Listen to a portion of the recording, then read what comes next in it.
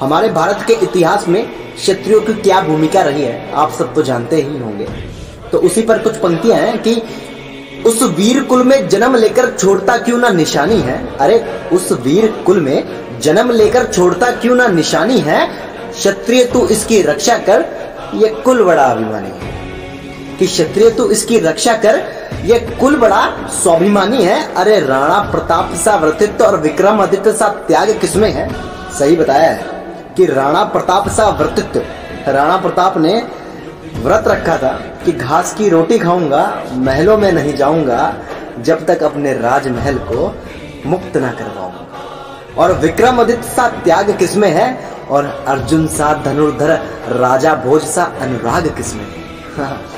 आपको भी पता है कि गांडीवधारी अर्जुन कितने स्नेह प्रिय और कितने नरम और कितने सिंपल और सादर स्वभाव के थे। तो आगे की लाइन का विस्तार करते हैं कि आला उदल सम वीरवर अभिमन्यु सा तेज किसमें अभिमन्यु जैसा वीर आज तक दूसरा धरती पर हुआ ही नहीं। सोलह वर्ष के बालक ने क्या खूब सात महावीरों को धूल चढ़ाई।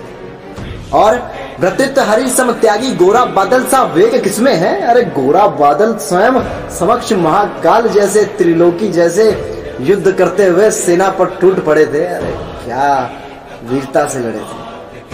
और क्षत्रियो की अप्रतिम वीरता सबको जानी पहचानी है।